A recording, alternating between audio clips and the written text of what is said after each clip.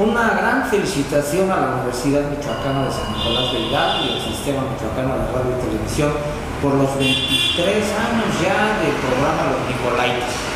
Además de felicitar a toda la comunidad, a todos los trabajadores y trabajadoras que participan en este programa, pues especialmente a los que dan ahí la cara y que siempre han promovido todas las mejores actividades de la universidad, la divulgación científica, eh, todas las fortalezas que tiene nuestra casa de estudios, así que les mando una felicitación a Yuri Servín, Yareli Sánchez, Gustavo Sánchez, a Fernando Jaramillo, Sara Caliote, a Esteban Vargas, Armando Parra, Antonio Nava, a Omar Fabián y pues todos los que están tras de las cámaras también siempre apoyando y todos los investigadores e investigadoras que han aparecido en este programa en estos ya 23 años. Un abrazo para todas y para todos.